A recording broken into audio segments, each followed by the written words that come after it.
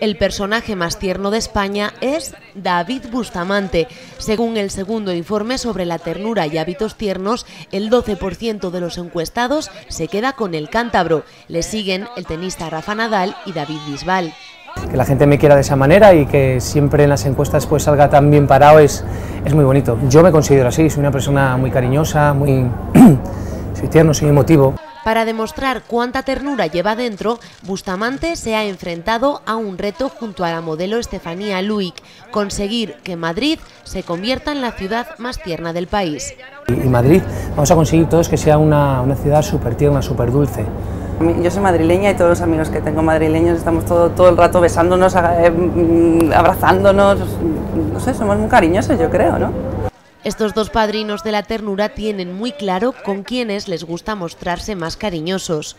Sobre todo me gusta ser tierno con mi mujer y con mi hija. Mi mejor momento es cuando llego a casa y las veo. Y ahí soy la persona más tierna, te puedo asegurar, del mundo.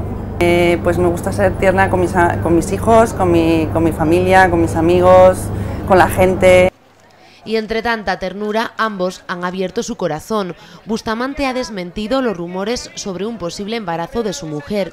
Pues somos muy jóvenes todavía y no hay que tener tanta prisa por embarazar a las personas. El día que, que pase lo diremos nosotros, no hagáis caso a nadie más. Estefanía, por su parte, encantada con su nueva vida. Fenomenal, eh, mis hijos creciendo sanos y, y felices dos padrinos de excepción para recordarnos que la ternura es lo más importante.